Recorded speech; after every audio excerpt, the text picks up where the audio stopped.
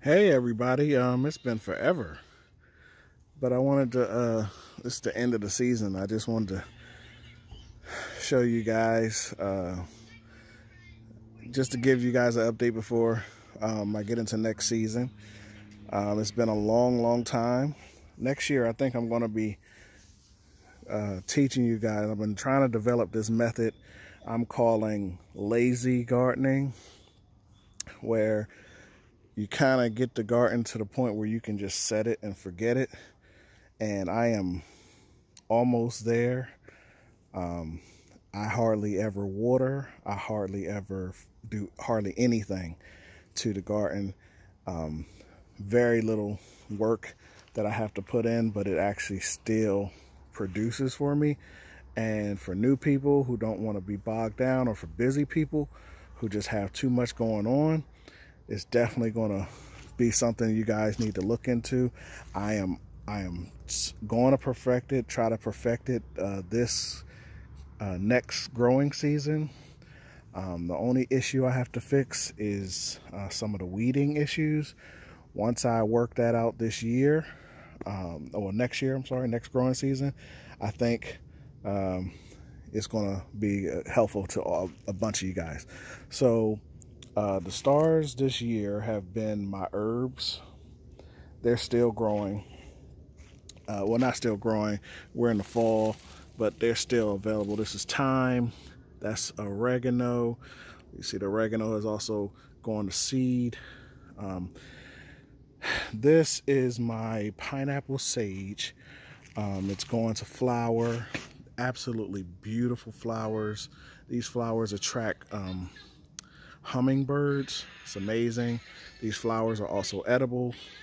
I'm going to be cutting all this back and drying it out and making a tea out of them.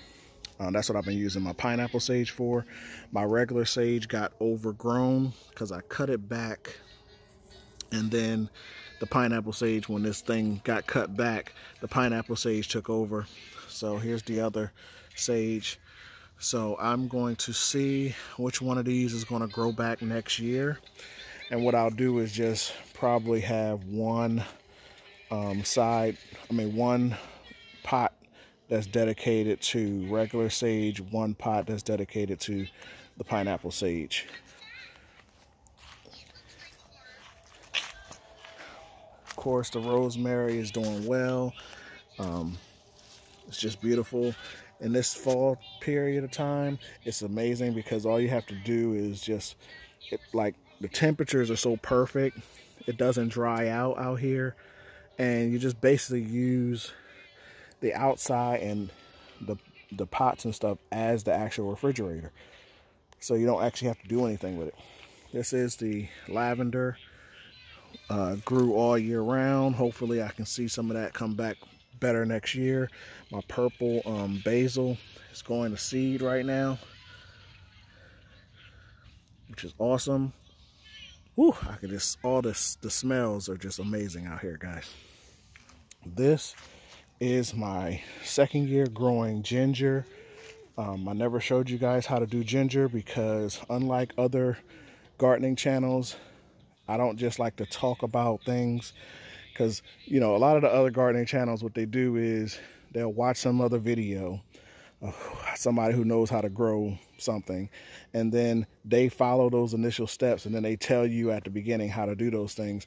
But they never go through the whole process and show you actually a harvest because some of them don't even are not even successful with it.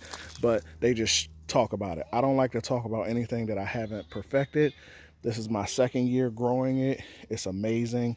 I'm about to start harvesting this because you can see the tops are now starting to get that brown color because the temperatures have been dropping low at night. Um, but that's what's up. This year also the stars have been my peppers. Look at this. It's like a Christmas tree. Fully red. All my chili peppers I just leave them out here. They can dry on the vine if they need to, and I'll pull them when they're dry. All of my bell peppers, you got green, you got red, yellow, they're everywhere. on here, had orange as well. Just leave them. Jalapenos, just leave them out here because, you know, eventually they'll they'll get too, too ripe. But, you know, if you don't have room for them in the house, no need to put them in the fridge. They'll survive. And when you need them, the wife is like, hey, I'm about to make some spaghetti or I'm about to make some tacos or whatever. I just come out, chop what I need. Um, we use, uh, I used these, dry them out in a large amount because I make my own chili powder and, you know, red pepper flakes and stuff like that. So that's what I use the chilies for. And occasionally, like you take a red, uh, your, your chili that's dried out. If you're gonna make like a pot of collard greens or some kale, and you just add just a little, little bit of heat on it, all you do is throw one of those dried ones in the pot. Good to go. Um, had string beans growing. Now they're starting to die, but you can see them all over the place. I was going to take these because when they get like this, this is how you, when you can actually pop these open and whatever you get inside, that's how you get your next year's harvest right there.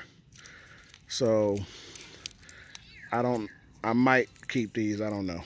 I didn't really like how they grew. And so I don't know if I'm gonna rock with them uh, next year. Um, more ginger. Uh, had my chives um, growing all year long. This is the regular chive. This is the garlic chive. These ones had the little heads on them with the flowers. They were amazing. smells great. These wonderful, beautiful flowers were attracting bees all year. They're beautiful. Um, the calendula and the I had several harvests from the um, chamomile. Course, I'm making teas and stuff out of that. And you know, my mints and lemon balm and the ginger mint stars. I'm gonna have to cut all of this stuff back, let it dry, and just been amazing. My blueberries were awesome this year. Um, the apples trees are now starting to get, I mean, super thick on the stalk, which is great. Um, one of the issues that I've been having, the reason why I'm not doing a fall uh, grow is I got too many grass seeds and stuff in my in my beds and so all my beds just continue to get taken over like this and so I have to I might end up next year having to start from scratch um, with my soil so I don't really want to do that because that's expensive but I may have to but this is the problem that I'm having with why I didn't show you guys my lazy gardening method because I have to be able to tame this kind of stuff in order for it to really work. Um, just show you guys really quick update on my uh, compost. It was already, it was all, I had this thing filled to the top. It's already all the way down there. So it's good to go. Uh, basically, I'm gonna do a few more turns. What I'm also do is grind up a bunch of these dried leaves, put that in there, and do all that good stuff, and then just leave that over for the summer. I mean, over the winter to do its thing. So overall, I had a really good growing season. Again, I was working on the lazy gardening method where I had to do very, very, very, very little work. Oh, I had got a bunch of good tomatoes this year. Um, we had that storm that knocked over everything, so I couldn't really pick up my uh, cherry tomatoes. They just were too heavy, but I, I, was able to get my slicing tomatoes up and ripe, and they were rocking with me for a good long time. So, yeah, we did, we did a good job there. So everything's been great. This was a good gardening season. Hopefully you had one. I'm gonna actually pull some ginger. Matter of fact, let's do that now. I'm gonna pull some ginger from my from the little thing. Look at the little farmer. So let's get let's get this here and let's see just what we got. So here's a little bit of ginger down here. We just lift that up like that. Shake it a little bit. Let's see what we got.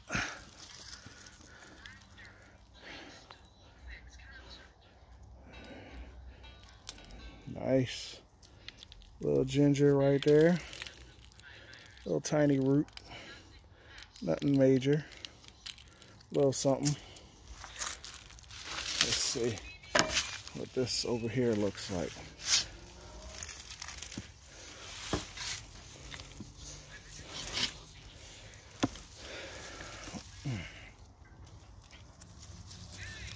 So, let's it up here.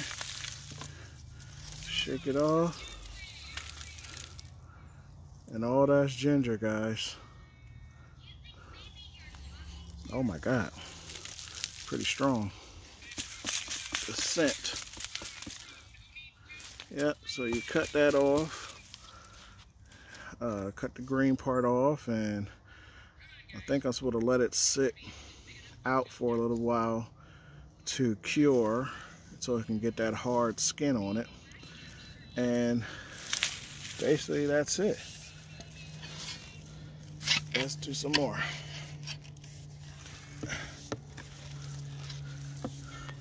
Let's see. There you go.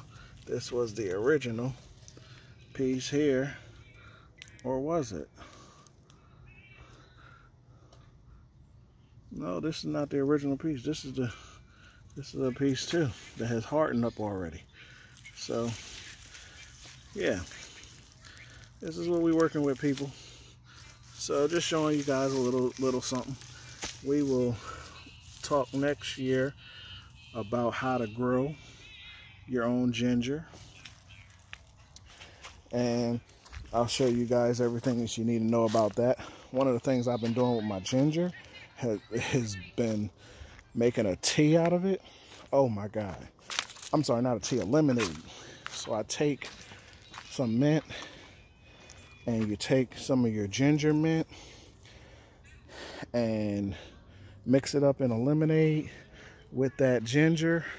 Puts a little spice on there. Oh man, everything is off the chain. Oh well, hopefully you guys had a great growing season. I will talk to you all later.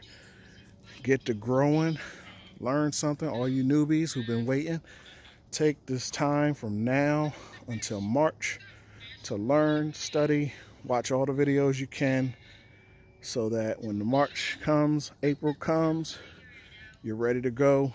No more excuses.